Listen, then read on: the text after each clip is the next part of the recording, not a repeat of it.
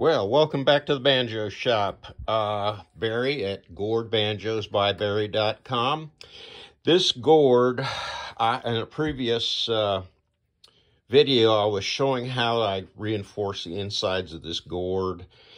And now we have a finished product. This particular banjo is called the Fence Post. And the reason it's called a fence post is because of the peg head has uh, rusty nails and it's pretty beat up, has some rust stains and everything. And uh, this is just a real popular one. The only thing that's um, smooth on this instrument is the neck. Uh, it has an oil or uh, has a uh, linseed oil and wax finish on it, so it's uh, very smooth, easy on the fingers, nothing to worry about. However, the rest of it is pretty gnarly. As you can see, we can turn this over and it's just uh, barnwoodish, if you will.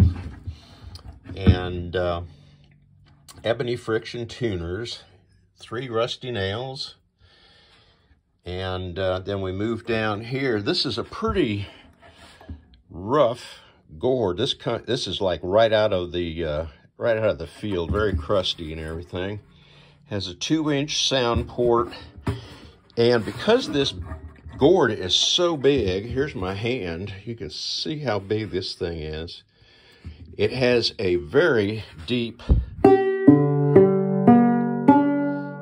has a very deep tone to it. There's a lot of air in there. Uh, a lot of folks will take a banjo like this and tune it down to open D, playing G shapes, and uh, it, it's really a, a, moody kind of banjo, very deep sounding.